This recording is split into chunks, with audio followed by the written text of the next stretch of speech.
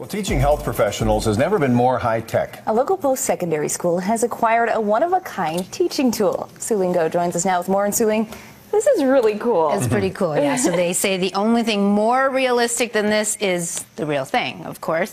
NAIT's new ambulance simulator is the only one in North America like it. Part emergency vehicle, part movie theater, part amusement ride. It's a high stress situation.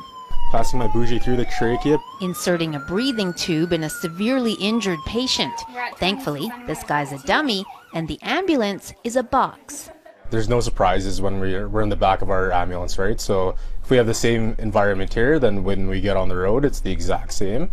NAIT's custom built ambulance simulator is stocked with the same equipment as the real thing. Plus, it's on a motion platform, moving in sync with the roads seen on screens in the windows. This simulates leaving NAIT and then heading to the U of A. So all the bumps down 109th Street are pretty good. The one of a kind vehicle is part of the Institute's new simulation center.